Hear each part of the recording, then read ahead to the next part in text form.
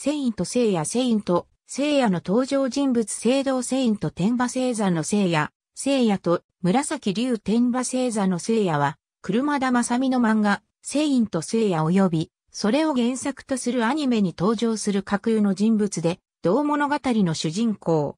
作中ではほぼペガサス聖夜と呼称されている。アニメの公式表記も同様。本項目では、セイント、聖夜オウムにおける伊手座の聖夜についても取り扱う。グラード財団総帥の木戸光正の非着室子として生まれる。孤児として育ち、自身も暗黒セイント戦まで自身の出生の事実を知らなかった。幼少時は唯一の肉親である姉の星香と共に孤児院、星の子学園で暮らしていたが、正当使要請のためにグラード財団に引き渡される際に星香と生き別れとなり、誠意を日本へ持ち帰れば、姉に引き合わせると財団に約束され、正当師への道を選ぶ。7歳にして、セイントの総本山であるギリシアの聖域に送られ、白銀セイント、和紙星座のマスズの下で6年間にわたって過酷な修行を積む。同じく天馬星座の正当師候補生のカシオスを倒した末、聖域より天馬星座の聖意を授けられ、アテナのセイントとなった。聖域から日本へ戻ったばかりの頃は、消息を絶った姉を探すことを第一目的として戦い続けていた。また暗黒セイント、白銀セイントとの連戦後、幼い頃からの不信感により、サオリらキド家との関わりを断とうとしたこともあったが、キドサオリの真の姿と聖域での異変を知ったことを機に、次第にアテナのセイントとして目覚めてゆく。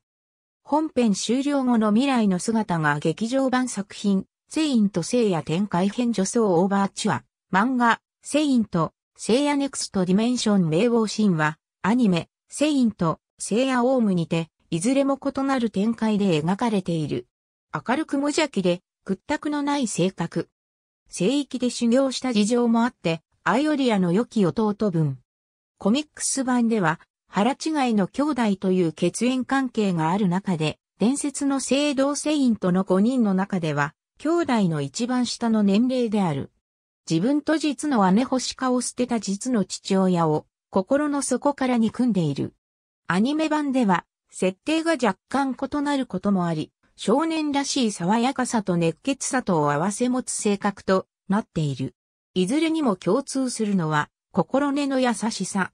幼少期は生意気な性格で、高慢な沙織や、それに従う横島部の態度に反発していた。いじめられっ子だったまどかをかばう一期には、この時期から一目置いている。シスコンで打弱な性格は徹底したスパルタ指導を行う聖域での師匠、マスズに徹底的に鍛え直された。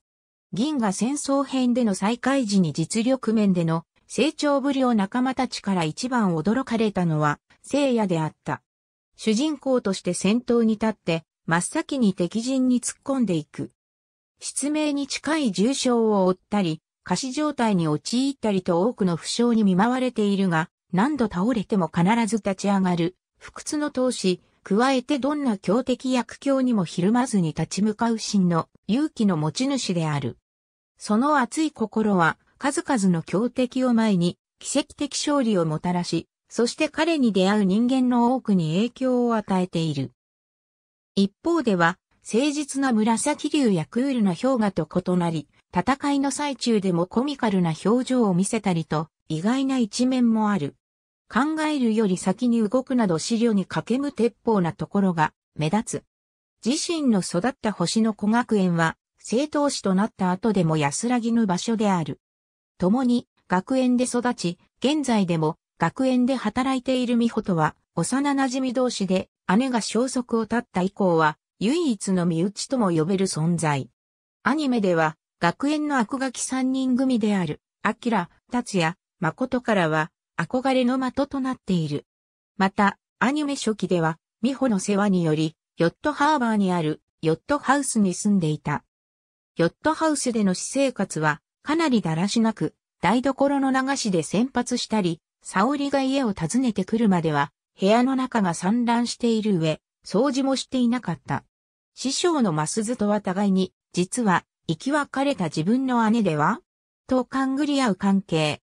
女心がまるで分かっておらず、幼少期から聖夜をした海穂も面倒見の良い幼馴染としか思っていない。原作版では聖夜が自ら招いた過失により、シャイナが聖夜への愛憎に苦悩している。沙織に対してはことに、原作版初期は過去に受けた仕打ちの数々と三政との血縁関係があるとの誤解もあって、憎悪の対象だった。沙織がアテナと判明したことで、忠誠心に変わり、自分のために身を削る聖夜に、沙織が特別な感情を抱いたこともあり、最終的に、相思相愛の関係に落ち着いたようになっている。口述のようにアニメ版の続編である、セインと聖夜オームでは最終版で、聖夜自身の口から沙織が最愛の女性であると語られた。戦いにおいては、瞬発力と敏捷性を誇り、そのスピードは聖堂聖員と一致とされる。いかなる強敵や苦境にもひるむことなく立ち向かう、真の勇気と不屈の闘志の持ち主である。聖員と聖夜オウムにおいては時を経て大きく成長し、口調や態度にも落ち着きが見られ、後輩たちを導き先頭に立つ姿勢も見られ、後輩への示しのため自主的に人前で、木戸沙織を、沙織さんと呼ぶことは控え、対外的には女神アテナとそのセイントとしての関係を表面的には維持している。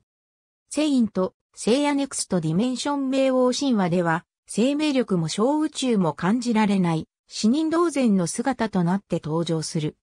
ハーデスとの最終戦で女神を守ろうとして受けた剣が、目に見えない Invisible Sword として胸に刺さったままとなり、あと3日で心臓に達するという。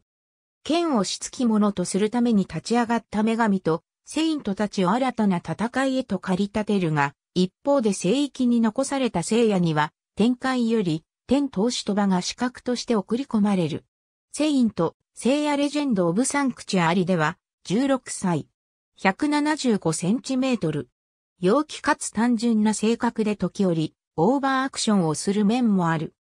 孤児であったが彼の小宇宙の素質を見出した木戸光政に引き取られ紫竜たちと共にセイントの修行地へ送り出される。子供時代、窮地に陥った沙織を救出したことがあり、その時負った傷を彼女の小宇宙で治癒してもらった。アテナを守るため戦い、生きるという確固たる強い信念を持つ。幾度地を舐めても這い上がる様は、紫竜をして立ち上がるたびに強くなると言わしめる。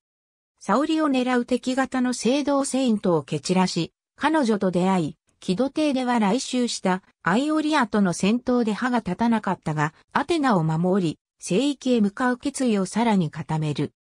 沙織を報じ到達した十二宮では、金牛宮でアルデバランの角を降り、獅子宮でアイオリアを押し込む活躍を見せたが、ジンバ宮ではミロとの激戦で彼女のマスクを破損させるも破れる。